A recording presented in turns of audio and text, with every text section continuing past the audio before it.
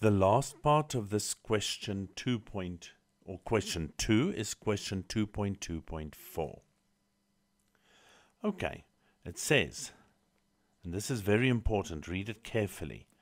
How many consecutive differences were added to the first term of the quadratic number pattern to obtain a term in the quadratic number pattern that has a value of 21,060. Now, folks, that is for four marks. So, yes, we've got to read it twice.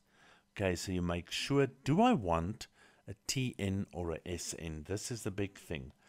Is this a term number I want, or am I going to work with a term, or am I going to work with a sum of the terms? Well, they says how many consecutive differences. So I know that I need to know the number of D's that were added to the first term in the sequence. Okay, so I'm actually looking here for the value of D. How many consecutive differences were added to the first term? Okay, to obtain a quadro uh, in this number pattern, to obtain a term in this pattern that has a value of that. So they told us Tn is 21060. And we're looking at how many of these terms or, or, of these differences were added. Folks, please remember they are not asking us for n because that would have meant how uh, the, if the question was to find the n value, they would have said um, which term number um, is is uh, two one zero six zero. We are going to find n most probably, but we need to remember that we're zooming in on the differences. And to remind you, it is going to be Tn, which is A plus, look at this, n minus 1d. There's n minus 1 differences added.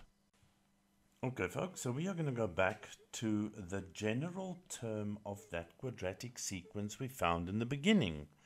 That gives us 6n squared minus 9n.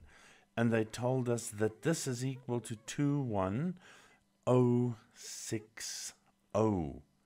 And that's the equation that we need to solve.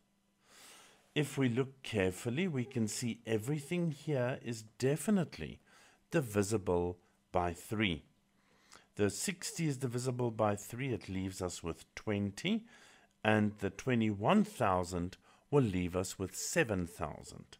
So if I divide everything by 3, I get 2n squared minus 3n, which is equal to 7020. Okay, so now I need this into standard form. 2n squared minus 3n minus 7020. And this is the equation that I need to factorize. Okay, now folks, you can see this number is ugly, the 7020. To find the factors of that number, I can start playing if I want to and start dividing by 2 and then again by 2 and then again by 2, but I think you pressed for time. So my big tip here is to apply your formula. Let's remind ourselves in the sketchboard about the formula. The formula in this case will be n is equal to minus b plus or minus the square root of b squared minus 4ac, all of that divided by 2a. Okay, so if I now apply my formula to this, I can say that n is equal to minus b, and minus b is 3.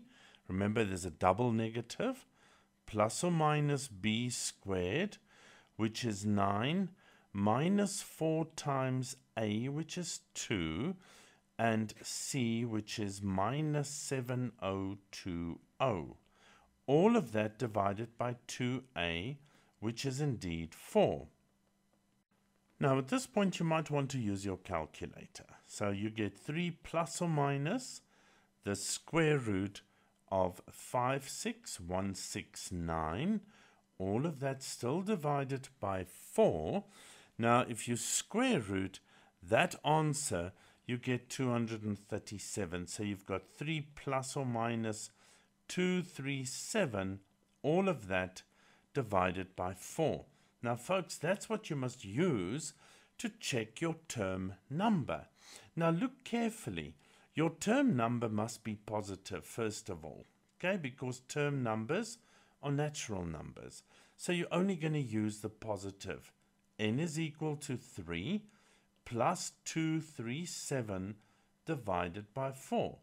And that gives you 240 that is divided by 4 and that leaves you with 60. So if the question was, which term number is equal to this 21060, you would have had your answer by now. But that's not the question. Let's remind ourselves by underlining this again. We are saying how many consecutive differences were added. So in our sketchpad, we are looking at the value of n there, and we're wanting n minus 1. So finally, we added n minus 1, which is 59 differences were added. Okay, there we go. To get to the term that was 21060. So remember, two takeaways here.